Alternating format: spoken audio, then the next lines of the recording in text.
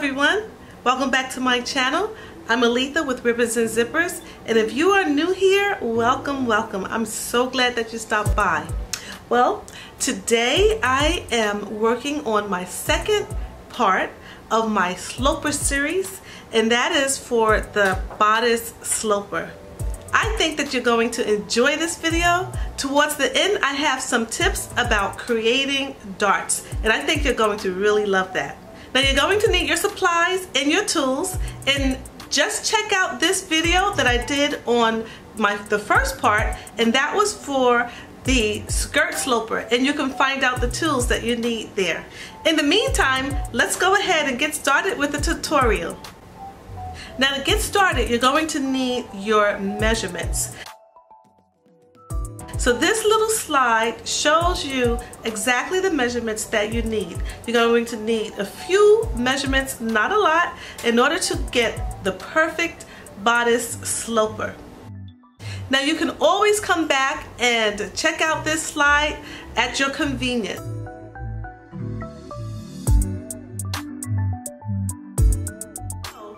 Now we're going to go ahead and start with the first part of the sloper. Okay, so my first point is going to be zero. From zero, I'm going to measure down. From zero to one is 5 eighths of an inch. And I'm going to go ahead and mark that point as one. Now the arm side depth is eight and a quarter plus another quarter inches and that is eight and a half inches. So I'm going to measure down eight and a half inches and mark that point 2. Okay, so from 2 to 3 is half the bust measurement plus another 2 inches. This brings me to 20 inches. I'll mark that point 3. Now I need to square up and I'll mark this point as 4. Now let's go back to point 1. 1 to 5 is the to waist measurement. I'll measure down to 16 and 3 eighths of an inch and I'll mark this point 5. Now to be accurate, I'm going to measure down the same amount on the other side. Now square across from 5 and mark this point 6. So from 0 I'm going to draw over three inches. And that point is going to be number seven. So let's mark that as number seven.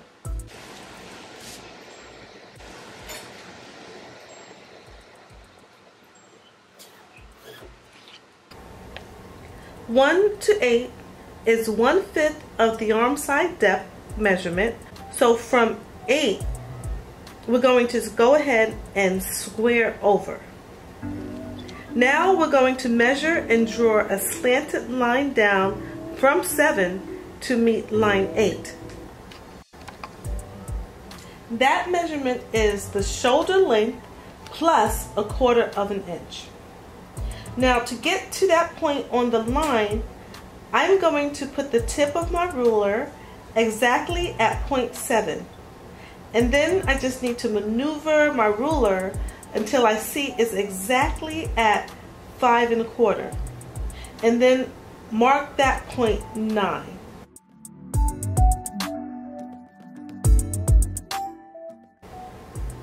Okay, so now 10 is exactly half the shoulder line.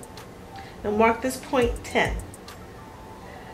From point 10, Let's go ahead and lightly draw a line down that is two inches. Square over a half of an inch. And then go ahead and square up, back up the two inches. So let's draw a slanted line inward to form the dart. And go ahead and mark this point 11. Now, find a point on lines 8 and 2 that is half of the back width plus a quarter of an inch. Now I'm going to go ahead and square down and mark these points 12 and 13. Now Find a point on the line that is exactly halfway and mark that point 14. So now we're going to find another halfway mark on lines 2 to 12. And let's go ahead and mark that point.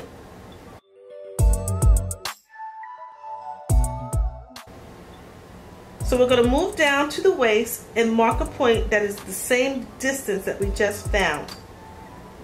Well now mark these points 15 and 16. Now let's work on our front bodice. So let's find a point that is one fifth of the neck size minus a quarter of an inch. That gives me two and three quarters of an inch. Now I'm going to measure over from 4 and mark that point 17. Now take note that the front neckline is always going to be lower than the back nape. This is your nape and this is your neckline.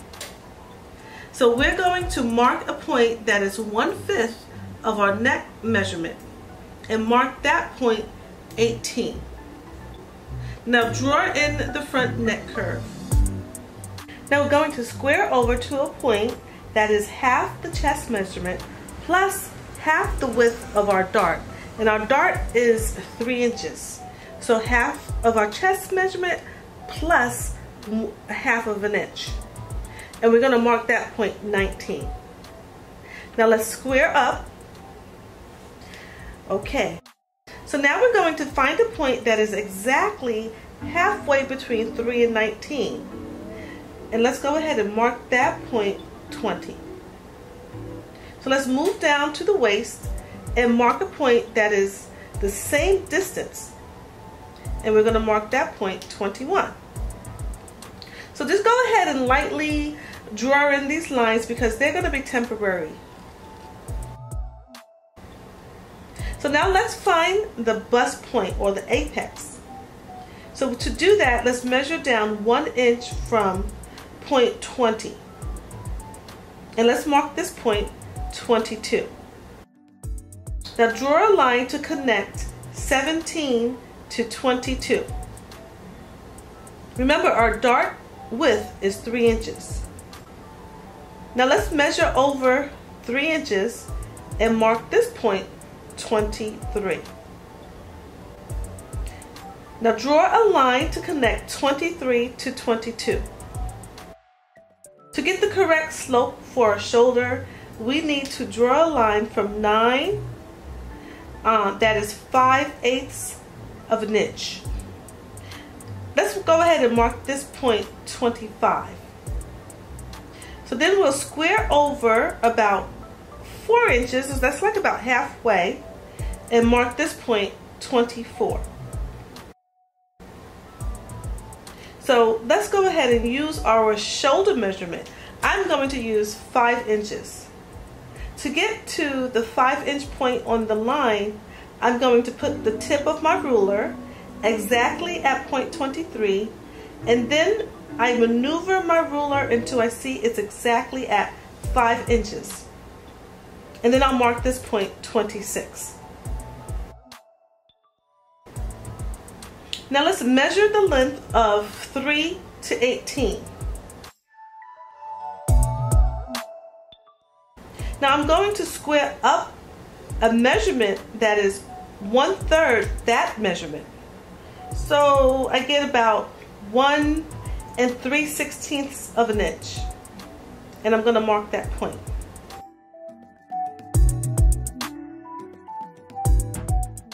Now I'm going to find the measurement that is halfway between 12 and 19. And I'll mark that point number 28. And mark this point 27. So 26, 27, 28. Now let's square down. So using your armhole ruler, draw in, draw in your armhole.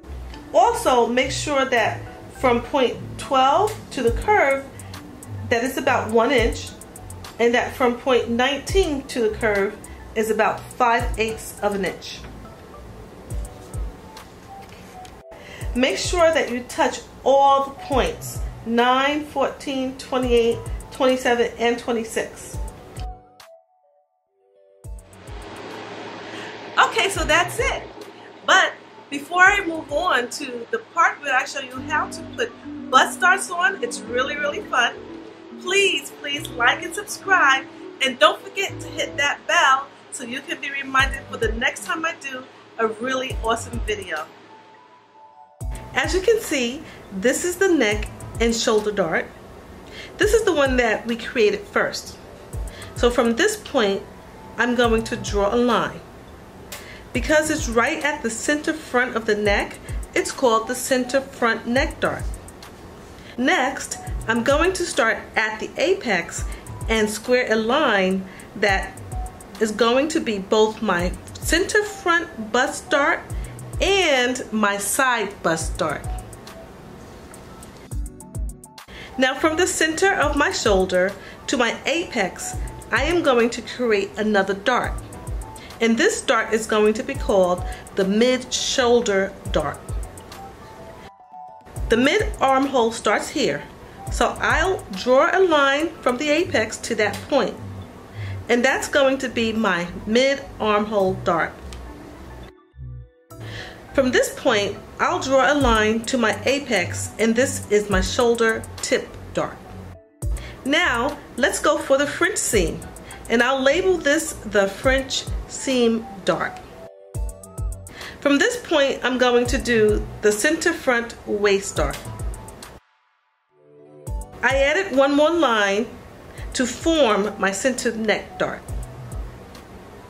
So now I created all of these darts. Now I need the front waist and back waist. I already created my guidelines. The first thing I'm going to do is measure my waist. I get 20 inches. 20 inches times 2 would be a 40 inch waist. So we know that this is so we know that for a size 14, that would be way too big. So for a size 14, I'll do a 29 and a half inch waist plus one and a half inches for ease. This will give me 31 inches. I need to taper in the 40 inches to become a 31 inch waist. I'm going to do that by adding my darts. So I need to divide 31 inches in half since this is half of our waist.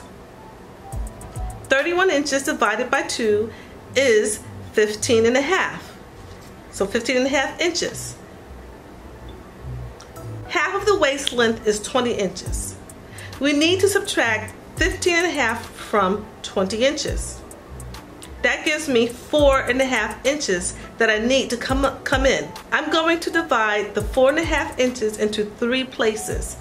And that's going to be my back waist dart, my front waist dart, and my side seams.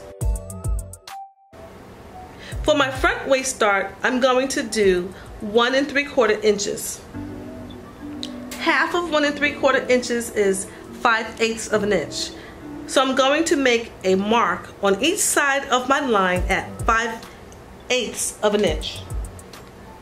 I'm going to draw lines from my apex to those points. Now my back waist dart is going to be a little smaller than my front waist dart. I'm going to make that one and a half inches. I want to get up to four and a half inches. I have one and three quarter inches and I'm going to do a one and a half inch from my back. I'm going to make equal marks on each side of the line at three quarters of an inch and draw in my dart. Now for my side seams, the back side seam is tapered in at half of an inch. The front side seam is three quarters of an inch.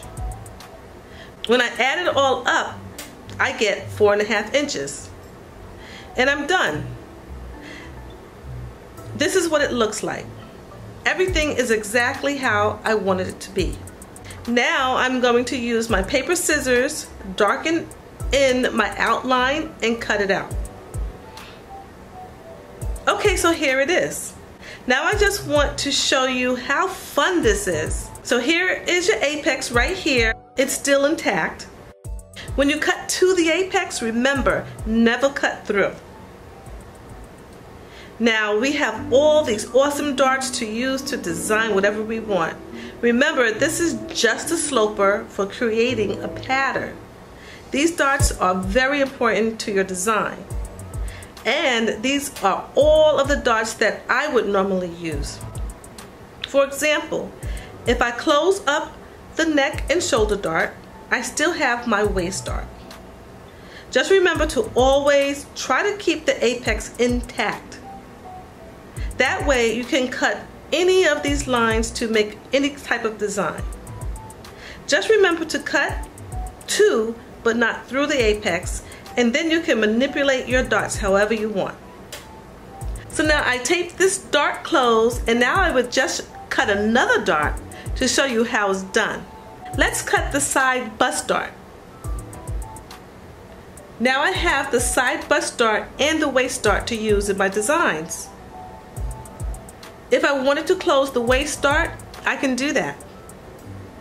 I can do the same thing for all of these darts. That's the beauty of having the lines on your sloper when you draft it. And that's it.